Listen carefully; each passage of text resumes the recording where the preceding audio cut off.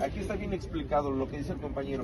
Es un viaje de 126 pesos donde tienes que recorrer 10.7 kilómetros para ir a recoger al usuario y lo tienes que llevar 9.3 kilómetros.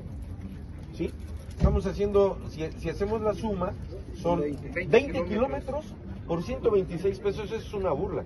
Y eso que a esos Ahí te lo 126 todavía le resta la comisión. O sea, es. esos no son netos. No, no son netos, No. o sea, de ahí eh, la IVA, comisión, comisión y IVA, impuestos. impuestos, y si el pago fue con tarjeta, Todavía- todavía el, el moche la de la tarjeta. de Y todavía la renta de la aplicación. 126, ¿cuánto? Vas llegando y te 50 cancela. pesos, ¿te gusta? 50 pesos, Luego si te cancela te dan 5 pesos de cancelación. así es. Las cancelaciones, y ya vas a la mitad del, del camino y te cancelan, no te las pagan como debe de ser. Te dan 5 pesos por una cancelación, y eso es lo que estamos peleando, ¿no?